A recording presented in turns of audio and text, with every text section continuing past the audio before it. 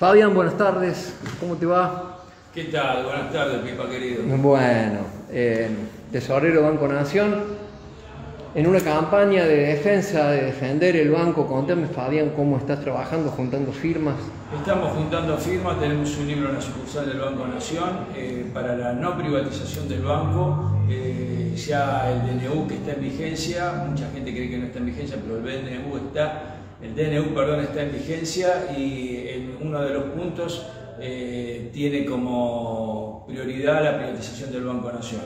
en base a eso, nuestro secretario general, Sergio Palazzo, eh, ha tomado la iniciativa eh, por medio de unos libros que hay en cada sucursal del Banco Nación de recolectar firmas para hacer una ley en defensa del Banco Nación para que no sea privatizado.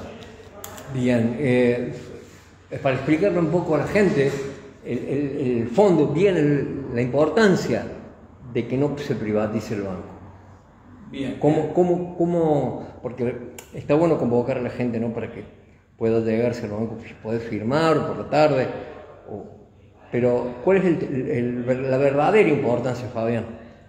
Primero, eh, que el Banco Nación es la empresa más importante que tiene la nación argentina. Es una empresa que tiene 132 años, que se autofinancia, nuestros sueldos los paga el mismo banco, los gastos los paga el mismo banco y aparte genera ganancia y esa ganancia va al Tesoro Nacional, o sea, la plata del Banco Nacional se usa para pagar sueldos, se usa para, para obras de infraestructura. El Banco Nación es importantísimo y no solo eso, sino que como banco es un banco que lidera el sistema financiero. Entonces, en manos del, de, de una banca privada eh, sería totalmente eh, otro banco, no sería un banco que estaría ayudando a las economías regionales, a los productores agropecuarios, ganaderos, a los jubilados, a, la gente que, a veces le cuesta llegar a un banco privado porque no le da el sueldo y en el Banco Nación se lo atiende, eh, sucursales que, hay en, lugares que a veces no es rentable, pero sí socialmente.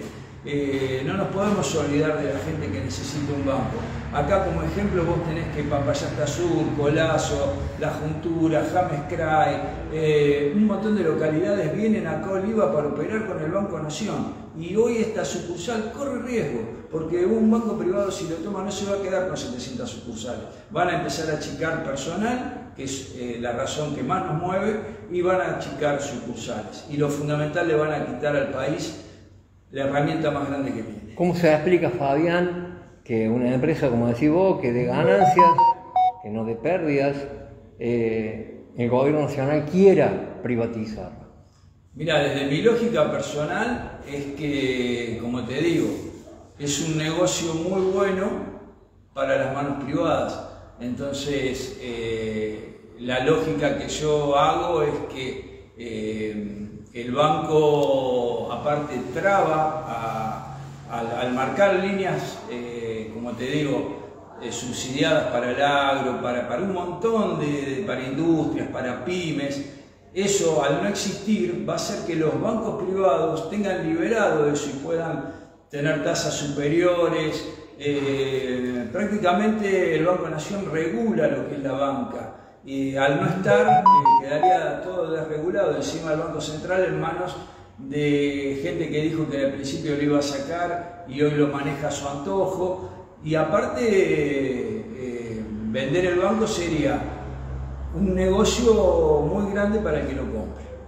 Fabián, bueno, eh, la gente como, ¿hasta cuándo tiene tiempo bueno, eso, eso es lo que más pido, difusión y solidaridad en la gente que, cree en nosotros, que cree en esto que, digo, que no tiene más que,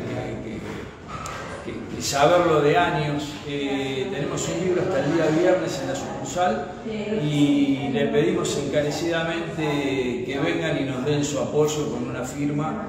Eh, no solo somos tres empleados, sino que el personal policial que viene a ser adicionales, el banco trató de estar siempre y bueno. Muchas gracias Fabián. ¿eh? No,